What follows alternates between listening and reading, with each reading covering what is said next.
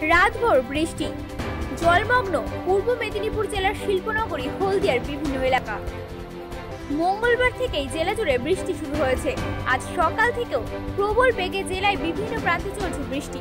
হলদি নদীতে ইতিমধ্যে জলস্তর বাড়তে শুরু করেছে।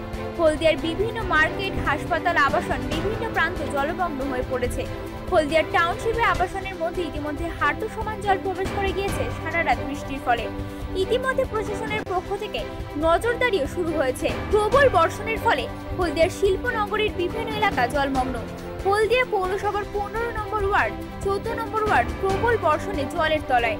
রাতভর তাদের উদ্ধার করে স্থানীয় স্কুলে রাখা হয়েছে।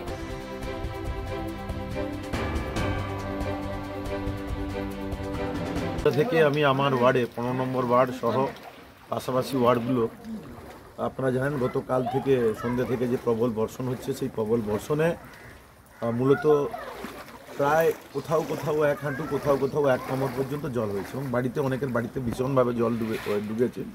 আমরা কালকে রাত্রেবেলাও বেরিয়েছিলাম এবং আজকে সকালেও বেরিয়েছি। মানুষজনকে আমরা বলেছি মানে এখনও আকাশের অবস্থা খারাপ, যার ফলে যে কোনো সময় আবার বর্ষণ হলে কিন্তু পরিস্থিতি আরও ভয়াবহ হবে। এই জন্য যে সমস্ত স্লাম এলাকা, বস্তি এলাকার মানুষজন কিংবা আমাদের সুকান্ত কলোনিতেও একইভাবে আমাদের দেহ গোসাইচক এই এলাকাতেও প্রায় এক হাঁটুর উপরে জল, এক কোমরে কোথাও কোথাও এক কোমর জল।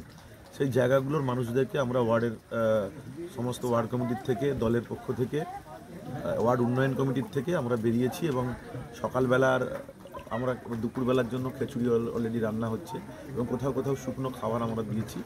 এবং আমি মানুষজনকে বলব, সারা হলদিয়ার মানুষজনকে বলব যে যারা এরকম পরিস্থিতিতে আছেন, আপনারা দয়া করে আপনারা সেফ জায়গায় চলে যান। আমাদের যে সমস্ত শেল্টারগুলো হয়েছে স্কুল কলেজ বা ওয়ার্ড অফিসগুলো যেখানে আছে, সেখানে আপনারা শেল্টারে চলে যান।